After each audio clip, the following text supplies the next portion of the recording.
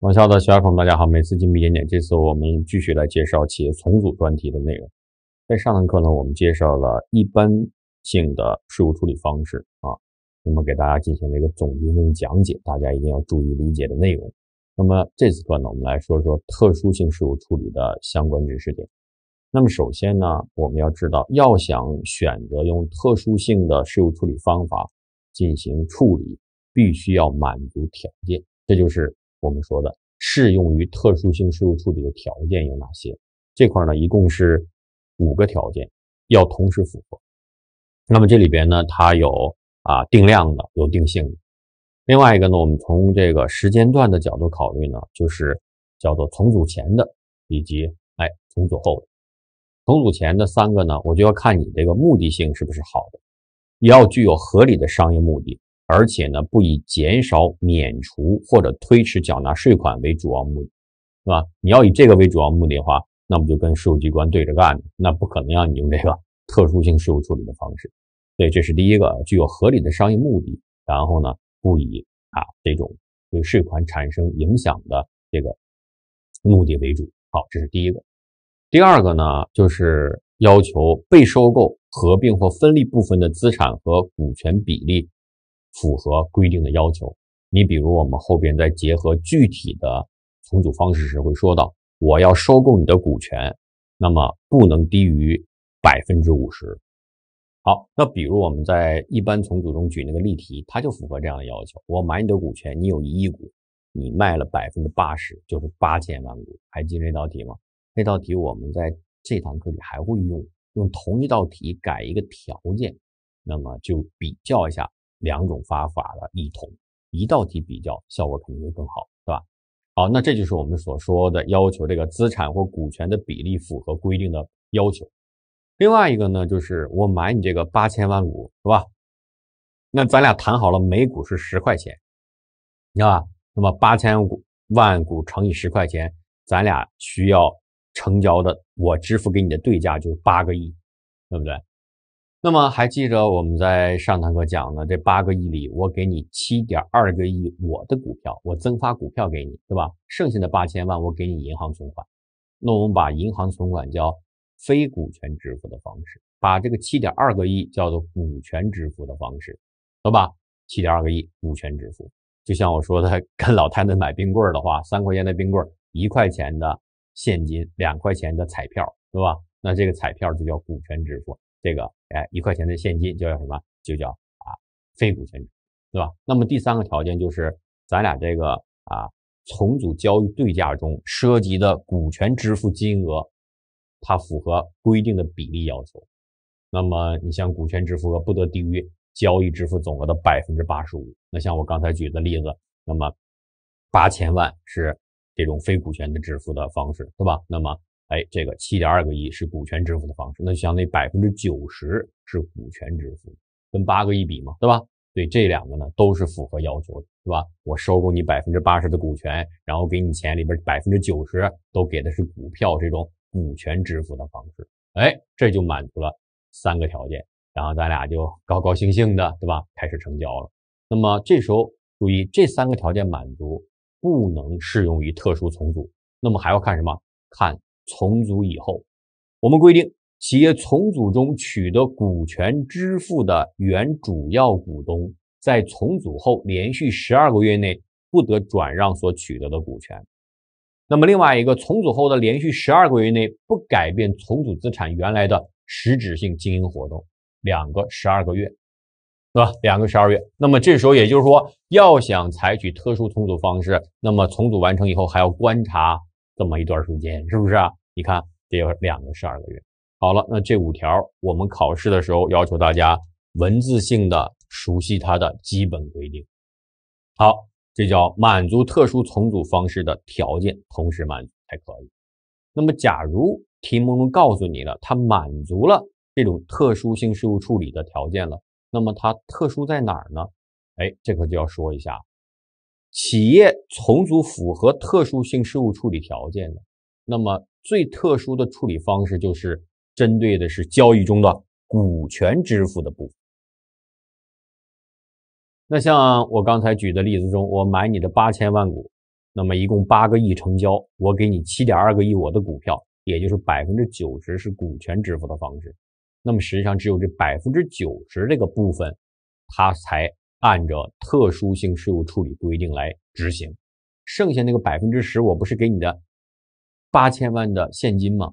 那对你来说就按一般重组方式处理。那么一般重组方式什么呀？那就是你要确认所得和损失，那我呢？要以工人价值确认收到我买这项股权的计税金，所以特特殊在哪？特殊在股权支付的部分，非股权支付的部分实际上遵循了我们说的一般性税务处理的规定。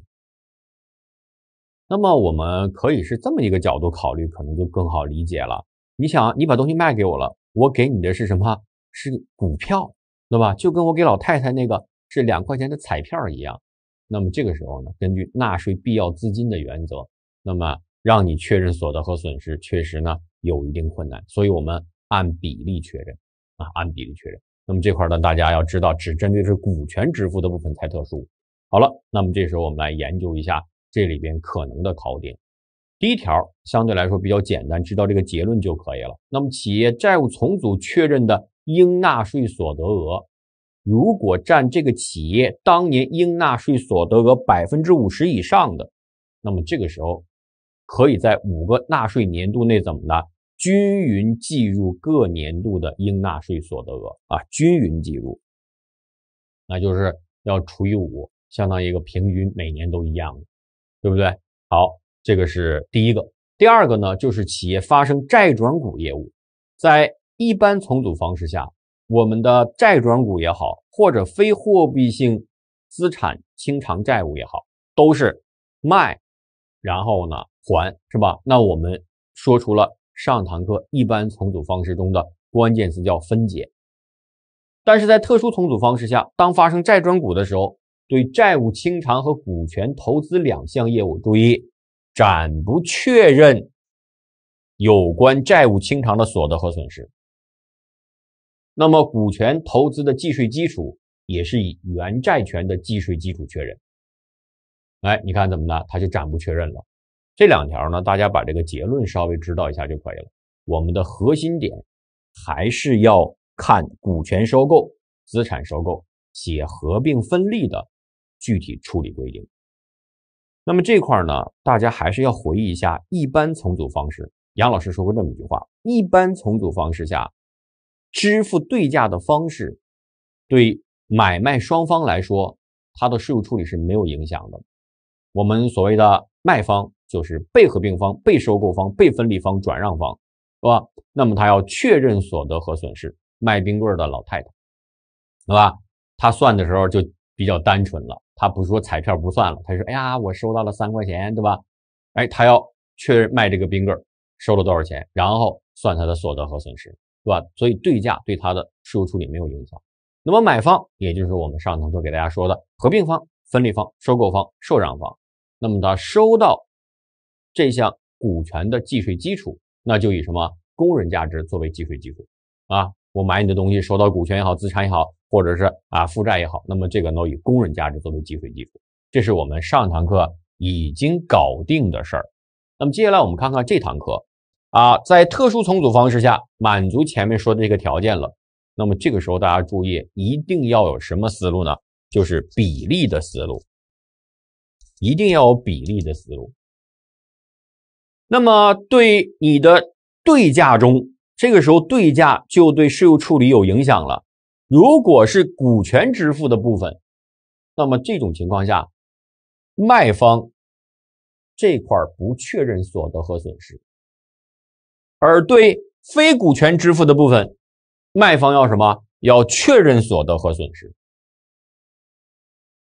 那么，用我们之前的例子来说一下这个事儿，你有这个比例的思路就可以了。这个例子跟我们上堂课讲的是一致的，不同点在哪儿呢？就是把按上堂课的一般性税务处理方法改成了按特殊性税务处理方法。进行处理，就改这么一句话。那我们拿到题以后，还是要快速的判断甲它是什么？它是卖方，对吧？那么乙是什么呢？哎，他将百分之八十的股权让乙公司收购，乙就是什么买方，对吧？那么根据我们刚才的讲课的顺序，我们先不考虑买方他收到这项股权的计税基础，我们先研究一下卖方卖了东西，他到底怎么确认所得和损失的问题。那么回忆一下，在上堂课讲一般重组的时候，我们说很简单，那就是你把八块钱的东西，嘛，甲方卖吗，把八块钱的东西卖了？卖了十块钱，一股赚了两块钱，那么他一共八千万股赚了一点六个亿。就这一点六个亿确认所得和损失，这不就是我们一般重组方式下的吗？对吧？但是根据题干，我们知道他选择符合特殊税务处理条件，他用这种方法进行处理，那么他的股权支付的比例是七点二个亿，百分之九十，对吧？那么他银行存款他支付的比例多少？是百分之十，对吧，同学们？那么这个时候大家注意了，根据我们刚才的讲解。对股权支付这个百分之九十的部分是不确认所得和损失的，只有非股权百分之十的部分才确认所得和损失。所以这时候我们经过分析，那我们就知道了，甲公司作为卖方，它只有非股权支付额对应的资产转让所得才交税，那什么就是百分之十的比例。你看，一般重组方式下是一点六个亿。那么我们的特殊重组方式下，只有对应的非股权支付的部分才确认所得和损失，这个一千六百万就出来。所以大家去体会这张表，是不是就很简单？就是我说的，一定要比例的思路啊，对吧？你一般重组会了，你特殊重组的话，那么股权支付的部分就不确认就可以了。那这道题恰恰是百分之九十嘛，对不对？如果我们说个绝对的，说这个八个亿。它全都给的是股权支付，比如把这七点一亿改成八个亿，全都是股权支付的方式，那就全都不用确认了，是吧？全都不用确认，是吧？大家注意，哎，这就是我们说的这个公式。所以呢，这个公式你不需要背呀，对吧？什么呢？就是重组交易各方按规定对交易中的股权支付暂不确认有关资产的转让所得和损失，那么其非股权支付仍然。在交易中确认资产转让所得和损失，然后这个时候非股权支付对应的资产转让所得和损失多少呢？就是刚才那个计算的公式。所以这块公式你要会用，但你不用去背，你理解就可以了。就用转让资产的公允价值减去被转让资产的计税基础。对吧？那就是说，我们一般重组方式，八个亿减去六点四个亿，不就一点六个亿吗？一点六个亿乘以非股权支付的金额多少呢？这道题是啊，八千万除以被转让资产的公允价值多少呢？八个亿，不就百分之十吗？所以呢，我们就直接这么简单说了啊，它这块才是那个公式所对应的，大家灵活运用。这百分之十怎么出来的？不就是那个银行存款支付的八千万除以八个亿吗？是不是？要能够会，明白了吗？这块大家要能够注意。好了，没有研究完呢，没有研究完呢。我们只研究完了卖方甲公司，他在特殊重组方式下怎么确认他的所得和损失的问题。只有非股权支付所对应的比例才确认所得和损失。那么接着我们来看看乙公司作为买方，他是不是就收到了甲公司卖给这个八千万股啊？那么他收到这八千万股。就要研究它的计税基础。这个我们在一般重组方式下是不是说了？你在一般重组方式下，那么买方收到这些啊重组标的物的话，也要研究它的计税基础。当然，一般重组方式很简单，就是公允价值就可以了。而特殊重组方式下，按比例确认。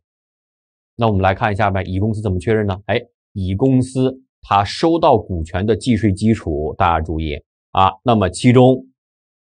股权支付的这个百分之九十的部分要以原有计税基础确认。那么八千万股的百分之九十不是指七千两百万股吗？哎，七千两百万股要按原有计税基础确认。那么我卖给你的时候，原有计税基础是八块钱的，所以叫原有计税基础确认。这是百分之九十那个对应的比例，剩下那个百分之十对应那个比例就要以公允价值确认，那就是。啊，支付现金那块是不是？那它的公允价值就是八千万，所以两个加在一块那就是六亿五千六百万，听见了吧？而我们的一般重组方式下，乙公司收到股权的计税基础就是那八个亿，所以大家看是不是就是按比例啊？啊，按比例，这个百分之九十的话是七千两百万股按原有计税基础确认，哎，这个百分之十是吧？是八百万股按工人价值作为计税基础，对吧？那八百万股每股的工人价值十块，不就是支付那个八千万的银行存款？所以特殊重组没有什么新鲜的，你一般重组会了，那么特殊重组就是找对比例就 OK 了。所以一定要有比例的思路，只有非股权支付的部分才确认所得和损失。那么买方按工人价值作为计税基础。那么换个角度来说，非股权支付部分，它这个比例是按一般重组方式处理就可以了。而股权支付所对应的比例，那么它怎么的不确认，是以原有计税基础确认，对吧？好，大家注意，脑子里一定要刻画出这个表格的东西才可以。好了。那么接着呢，我们来说说啊，这个处理它对应的教材中的这句话，就是收购企业翻译一下，买方取得被收购企业卖方，那这道题就是乙公司取得甲公司企业股权的计税基础，是不是？那么那就以被收购股权的原有计税基础确认。那被收购股权的原有计税基础多少呢？是八块钱。那么谁是被收购股权？那就是卖的那个股权的原有计税基础确认。然后其中非股权支付的部分要调整相应资产的计税基础，那就是我们说的按比例确认。所以这些理论的东西啊，你不要死记硬背，我们拿案例去理解，脑子里刻画的是我给大家总结的那个表格，把上堂课和这堂课的都总结到了一个表格中，脑子里要印进去，对吧？好了，印完以后，我们就要思考几个问题了。第一个就是甲公司，他这个股东啊，他不是卖方吗？我买你了啊，给你七点二个亿我的股权，给你了八千万的现金。那我们刚才研究了什么呢？大家注意，我们刚才研究了这个卖方他的税务处理，甲公司的税务处理，也研究了啊买方啊乙公司。他收到甲公司股权的税务处理，对吧？但是有时候我们考试题中可能还会问另外一个问题，大家不要忽略，就是这个：是不是甲公司的股东他取得了乙公司股权呢？这个股权可不是重组标的物的股权，而是作为对价支付手段的股权。这里边的股权是对价中的股权。对吧？因为杨老师说了啊，我们家里买东西要啊买个冰箱算冰箱的成本，我们站在会计的角度要考虑它的入账价值。那我们啊收到这个资产的话，就要考虑它的什么计税基础。所以这时候呢，考试不问你，你不用管它；如果问你的话，实际上他也可能问的就是，作为卖方的股东，他收到作为买方来说对价中那个股权，它的计税基础是多少？哎，这个大家注意了，那就是这句话：被收购企业的股东甲公司的股东，他取得收购企业乙公司作为对价支付手段中的股权的计税基础。那么这个时候大家注意，依然以被收购股权的原有计税基础确认。啊，那么我们有的题目中干扰，说我增发股票，对吧？然后我这个股票的话，这个原有计税多少？啊，注意啊。那么我的这个原有计税基础，也就是说，收购这一方作为对价支付的股权的计税基础，不影响你这个股东收到股权的计税基础，因为在确认你这个股东收到股权计税基础的时候，用到的依然是被收购股权的原有计税基础。好，那么总结一句话，就是在。股权收购这种情况下，啊，那么你把你的股权卖给我了，对吧？我在考虑我收到股权计税基础的时候，参照的是被收购股权的计税基础确定，当然肯定是什么？肯定是股权支付部分所对应那个比例的，对吧？那么好了，然后我作为对价支付股权的时候，你这个股东收到的时候，参照的也是被收购股权的计税基础确认。好，这就是我给大家案例，同一个案例，不同的重组方式下，我们能够感受它的税务处理不同。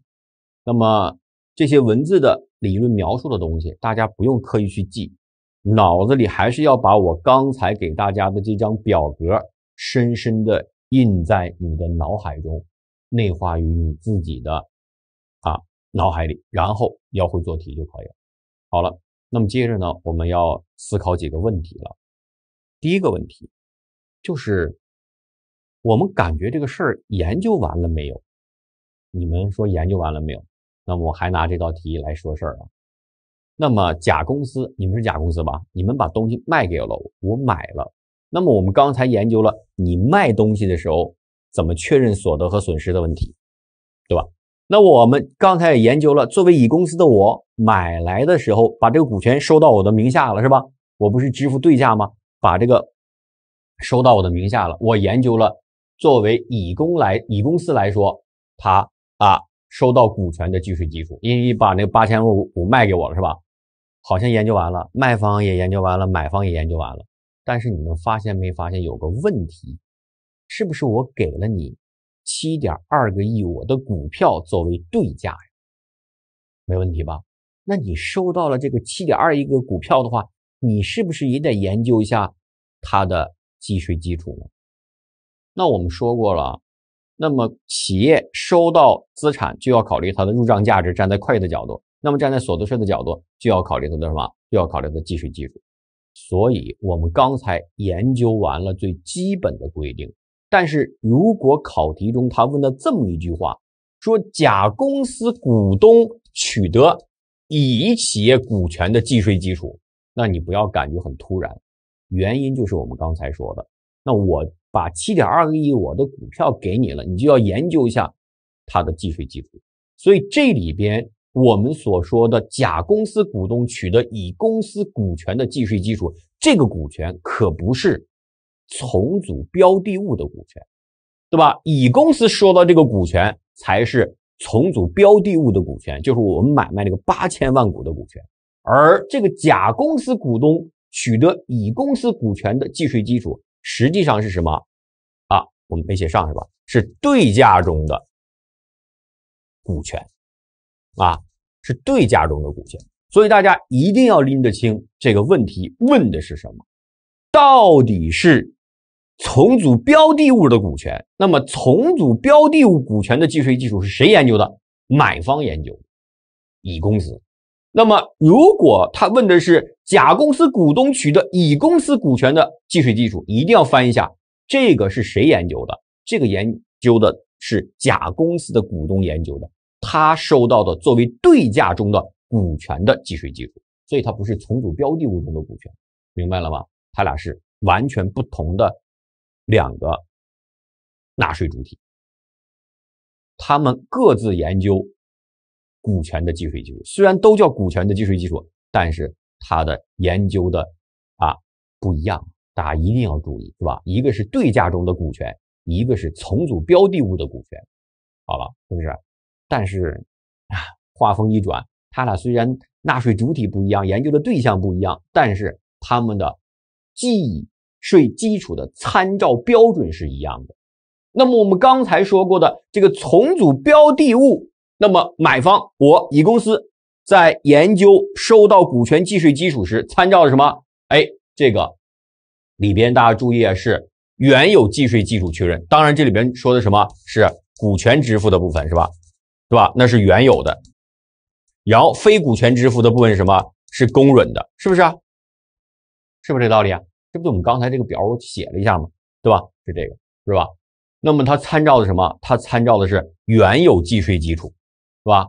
那么好了，作为对价股权的这个研究它的计税基础的时候，参照的也是被收购股权的原有计税基础确认，明了吧？也是要按被收购股权的原有计税基础确认。所以他俩在计算时，你要找已知条件这个数额的时候，都要找被收购股权的原有计税基础。那尔东老师，那他俩不就一样了吗？你这么说对不对呢？只有特殊情况下才对。什么特殊情况？就我我买你这个股票的话，一分钱现金都没给你，都给你的是我的股票，那这个就相当于换股了，对吧？我拿我的股票换你的股票了，那那个时候才相等。但这道题不等，为什么？啊，为什么？因为作为乙公司我来说，我研究的是八千万股的计税基础，也就是我们说的重组标的物，它的数量是八千万股，而对你来说。你甲公司取得乙公司股权的计税基础的话，那么是以被收购股权的原有计税基础确认，只是多少呢？七千两百万股。我给你的只是相当于七千两百万股所对应的部分，所以是七千两百万股乘以多少呢？乘以八块钱，因为被收购股权的原有计税基础是八块钱，所以是五亿七千六百万。所以它俩的数量是不一样的。那么，作为对价股权的那个，他研究的是七千两百万股了。那么，作为啊重组标的物的，研究的是八千万股了啊。只不过这里边是吧，这个百分之九十是原有的，百分之十是公人，但这个数量加起来是八千万股。所以它俩的这个区别一定要注意。总结一下，审题时一定要看到底我们在研究股权计税基础的时候。是重组标的物的计税基础，那就是买方案例中的乙公司，还是研究的是对价中股权的计税基础？一定要审清楚这个题，对吧？好了，审完题以后，大家要注意杨老师说的，他们在确定这个金额时，都要看的是，也就是在题中找被收购股权的原有计税基础。啊，为什么要强调这点？因为有时候出题老师还干扰，说我作为对价支付的时候。把我支付时那个股权的那个计税基础也列示出来了，一毛钱关系没有，一定看的是被收购股权的原有计税基础。找到这个数字以后，然后要乘以对应的这个数量。那么作为重组标的物来说，这个数量是什么？是全部的数量。那么按比例，该原有的原有，该公允的公允。好，那么但是对。作为对价中股权计税基础来说，它只研究的是什么？那个七千两百万股支付那个数量啊，就是股权支付那个数量，所以它俩产生了数字的不一样。大家要注意啊，这个是我们思考的第一个点啊。我们考试一般不会考这个，但万一要考，大家按我的思路要知道他说的是什么事儿。还有一个事儿啊，就是在特殊重组方式下，大家注意啊。我们说它的一般重组方式下，它的所得就是卖方了。我们当然研究卖方了，它是什么？确认所得是一点六个亿。但是在特殊重组方式下，这个案例中，它只需要有百分之十确认所得和损失就可以了，百分之九十，也就是一点四四亿是不需要确认所得和损失的。那不需要确认所得和损失，就要做纳税调减处理啊。所以我们用间接法的思路来说一下，那它调减的就是百分之九十的部分；直接法的思路确认的那就是百分之十的部分就可以了。好，这两个思考的问题啊，大家要能够做到心中有数，啊，做到心中有数。好了，那么整个这个特殊重组的核心问题，我们就给大家研究完了。然后我们也是链接一下教材中啊它的文件规定。啊，它的文件规定，我们一般重组方式也是，是吧？给了这个表格，然后我们链接一下知识点，说一下就可以了。我记住当时还，咔给打打叉，你都不用去背，对吧？这个道理是一样，你脑子里刻画那个表格就 OK 了。那我们来分别说一下，首先说股权收购，那这个实际上刚才那个例题就是最典型的这个股权收购了。那么我们要求。满足什么条件呢？就是收购企业购买的股权不低于被收购企业全部股权的百分之五十，这就是我们说的五个条件中的第二个。且收购企业在该股权收购发生的股权支付金额不低于交易支付总额的百分之八十五，就是我们说的那五个条件中的第三个。那么我们案例中呢，就比这个要高。我们案例中那个是多少呢？哎，八个亿的这个对价中有百分之十八千万是非股权的。七点二个亿是股权的，所以是相当于我们案例是百分之九十，肯定满足了，对吧？好，这是啊说的这个条件，如果符合这个条件的话，它就可以选择特殊重组方式。那么，哎，按什么规定来呢？嘿，就是被收购企业的股东，被收购企业那也就是卖方的股东取得收购企业股权的计税基础，以被收购股权的原有计税基础确认。刚刚讲过这个事儿，对不对？刚刚讲过这个事儿，对吧？刚刚讲这个事儿。然后收购企业，那么谁呀？就是我们说的买方，对吧？取得被收购企业股权的计税基础，就是那个啊八千万股，以被收购股权的原有计税基础。当然，这里边我们前提条件研究的是这个百分之九十那个案例中的什么对应的股权支付的部分。那么非股权支付的部分还是要工人价值，是吧？还是要工人价值，是吧？好，那么另外一个就是收购企业、被收购企业的原有各项资产和负债的计税基础和其他所得事项保持不变，对吧？哎。资产收购说完了，不用背。那么这些我们都结合到案例里去讲了啊，结合案例去讲，对吧？好，然后看看资产收购，资产收购它的比例要求跟刚才的股权收购是一样的，我也不说了，这个百分之五十、百分之八十五，对不对？那么这个时候转让企业取得受让企业股权的计税基础，以被转让资产的原有计税基础确认啊。那么受让企业取得转让企业资产的计税基础，以被转让资产的原有计税基础确认。老师说的啥呀？为什么你读的这么快呀？跟刚才那个道理一模一样，跟刚才这个道理一模一样，也就是我们案例中讲的道理是一样的，只不过这个我们的标的物变成了什么？变成了啊资产的收购。好，那么你看他说转让企业，那就卖方取得受让企业买方他的股权的计税基础，那不是我作为对价支付给你的是这种股票吗？是吧？那么这个时候。你取得了，你就要研究，就以被转让资产的原有计税基础，对吧？那么同样道理，那我把你这个标的物买来了，这个标的物不再是我们刚才案例中说那个股权了，而是什么资产？那么受让企业买方取得卖方的资产的计税基础，就以什么被转让资产的原有计税基础确认，对吧？当然，我再次强调，我们说的都是什么？都是股权支付对应那个比例的部分，所以这块你不用看。我们都揉到了刚才那个案例中讲这个道理一样，只不过标的物发生了这个变化，最后还都是要脑子里刻画这个表格啊。这里边我们说的实际上是这一块，所以我一再强调，只针对的是股权支付的部分，对吧？那我刚才在讲这个大的前提的时候，都说了，我们研究特殊重组就研究特殊重组股权支付的部分，但是我们为了大家理解更方便，所以把非股权支付的部分放在一块了，这样呢体现一个比例的思路，这也是一个应考的思路。所以这块大家你一定要思路清楚，你别给我一团浆糊。那么我为什么说这块打叉？就是你要听完以后啊，把这个过程把握了，这些你都不用自具体去看，你越看你觉得越乱，你不用去看，对吧？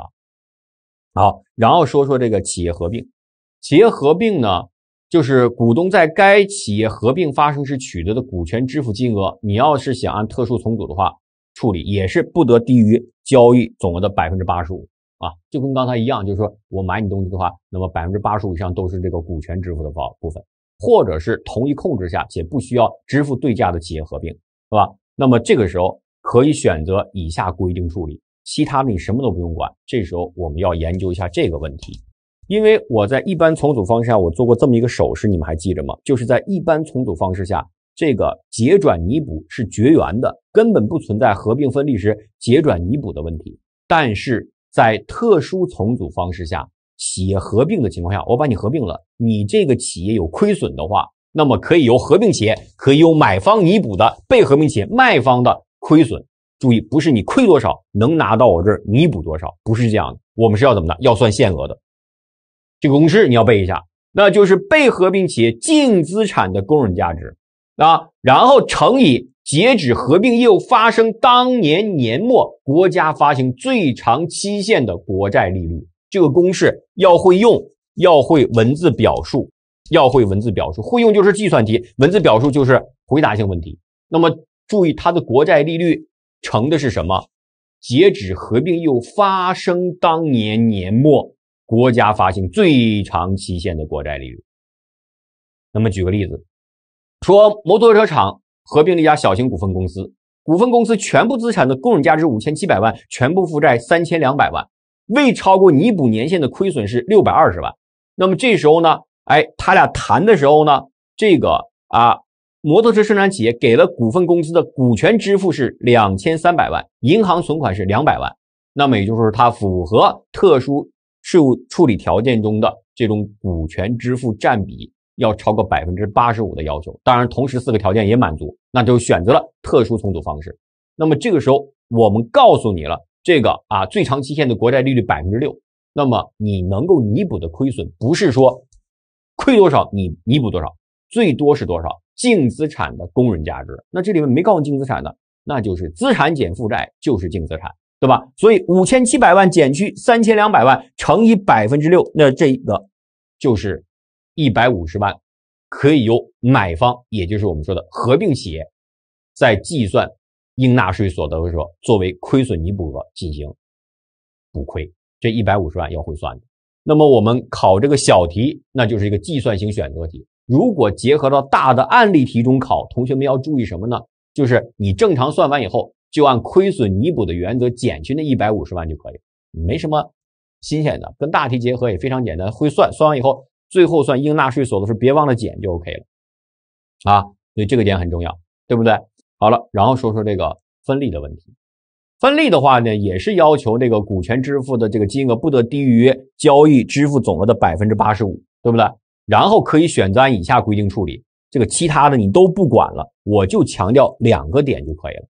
第一个，我们在一般重组方式下，是不是说分利的话也是这个亏损结转弥补是绝缘的，对不对？但是在特殊重组方式下，刚才我们说的合并可以限额进行亏损弥补，那么对于分利来说，也是被分利企业，就是卖方未超过法定弥补期限的亏损额，可以按分立资产占全部资产的比例，按比例进行分配，由分利企业继续弥补。所以在特殊重组方式下，这个东西你千万不能掏出来。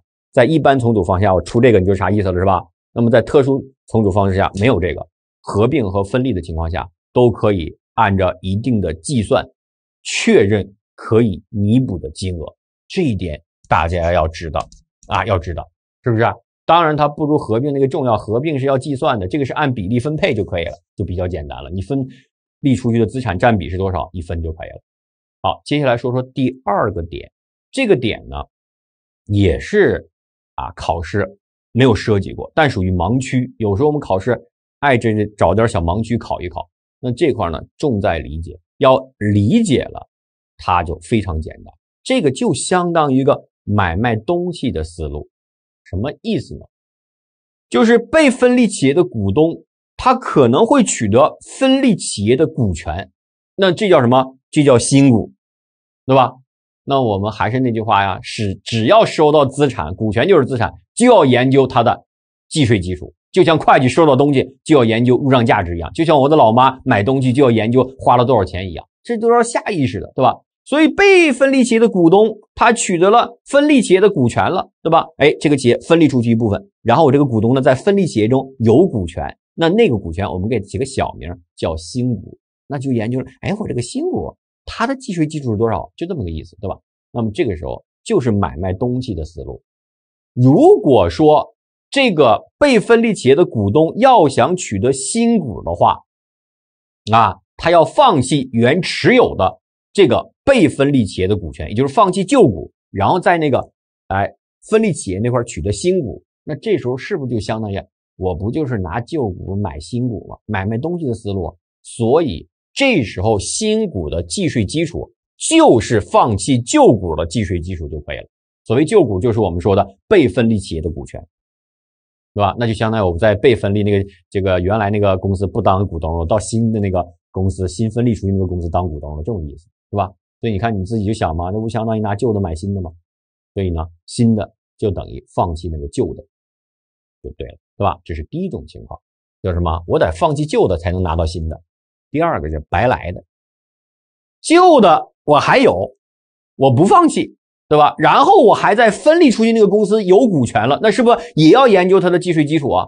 那你要省事儿的话，是不这是我白来的嘛？所以新股的计税基础为零，这是一种思路，对吧？如果不放弃的话，第一种就是省事儿，这个我新股是白来的，因为在旧的那个公司里啊，也就是被分立的公司中还有股权呢，所以我新的那个就相当于白来的。但是还有一种情况呢，就是要明算账，对吧？这是另外一种思路，什么呢？就是以被分立企业分立出去的净资产占被分立企业全部净资产的比例，我先调减原持有旧股的计税基础。啊，按这个分立比例调减旧股的，那调减出是一个数额呀？然后我除以新股的那个数量，就计算出了每个新股它的计税基础。啊，那么这叫什么？哎，调减旧股，然后怎么的？哎，再平均分配到新股，就是买卖东西的思路。不放弃啊，那就两种小思路。对吧？或者我认为是白来的，或者是我按比例进行分配就可以。所以这块大家注意啊，不考则已，要考的话，你得把我刚才讲的东西用这个理解的思路把它答出来就可以了。不要认为它有多高大上，就是个买东西研究一下它的这个啊计税基础的问题。好了，这就是我们讲的全部的特殊重组它的税务处理的重要规定。尤其是那个表格，再次强调要刻画到脑子里。好，那么这样我们就把特殊重组最核心的内容给大家介绍完了。最后你留到脑子里就是那张理解的表格以及它的亏损弥补的问题。